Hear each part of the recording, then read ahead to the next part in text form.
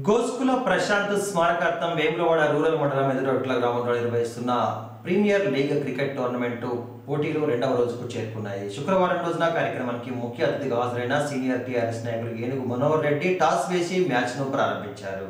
గోస్కుల ప్రశాంత్ స్మారకార్థం నిర్వహిస్తున్న ఉమ్మడి కరీంనగర్ జిల్లా స్థాయి cricket premium league season one పోటీలను రాజన్న సిరిసిల్ల జిల్లా వేములవాడ రూరల్ మండలం ఎదురుగట్ల గ్రామంలో రెండవ రోజున ప్రారంభించారు. టీఆర్ఎస్ సీనియర్ నాయకులు వెలుగు మనోహర్ రెడ్డి టాస్క్ వేసి వాటిని ప్రారంభించారు. యువత చదువుతో పాటు అన్ని రంగాల్లో ముందుండాలని ఈ సందర్భంగా పేర్కొంటూ క్రీడా జట్లకు శుభాకాంక్షలు తెలిపారు.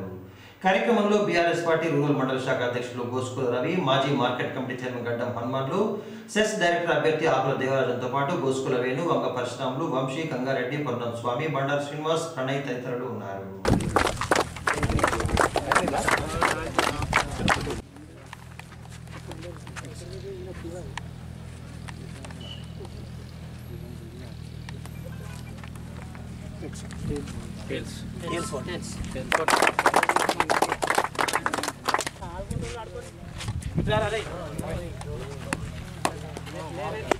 మెల్లనే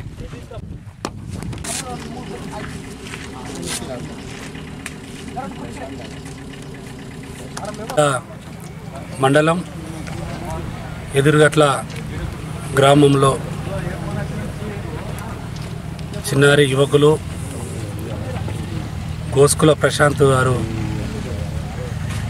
అకాల మరణం చెందిన అది గుర్తా వస్తూ ఉంటే బాధ కలుగుతూ ఉంటుంది.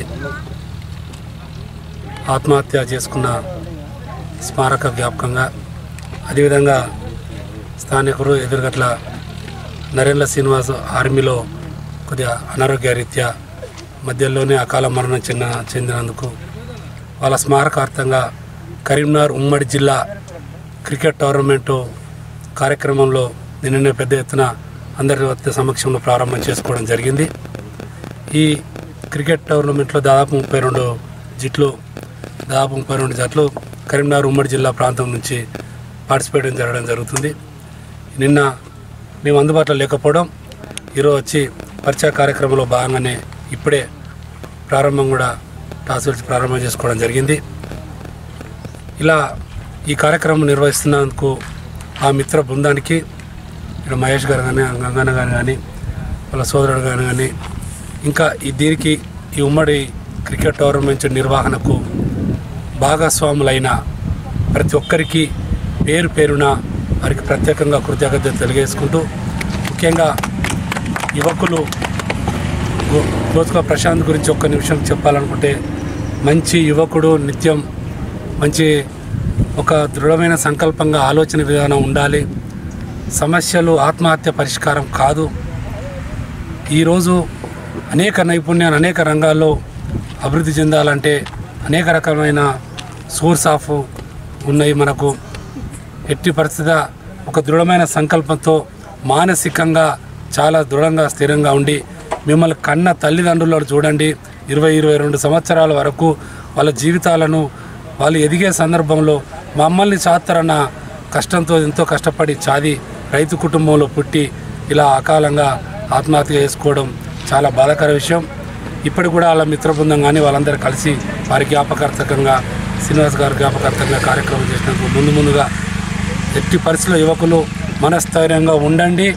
జీవితంలో అనేక రకాల సదుపాయాలు ఉన్నాయి. మనం పోరాడదాం కష్టపడదాం. అమ్మా నాన్న సంతోషం అక్కాయిలను ప్రేమలను కుటుంబాలను పంచుకొని కుటుంబాల సంతోషం కొరకన్నా వాళ్ళను మీరు ఎట్టి పరిస్థితుల్లో కూడా ఇలా జీవితం ఎప్పటికీ మరవలేని తరుణంలకు క్షోభ బాధ పెట్టి ఇలాంటి చేయడం చాలా బాధాకర విషయం.